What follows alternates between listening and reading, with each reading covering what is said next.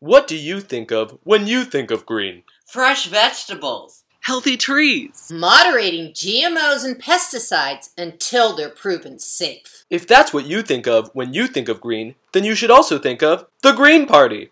The Green Party? That's right, the Green Party and their presidential candidate Jill Stein believes in creating local, sustainable, organic, plant-based food systems. That's a policy I can get behind. She wants to clean up coal plants, provide energy-efficient public transportation, and put more money into creating green jobs. Sounds green to me. Jill Stein 2016.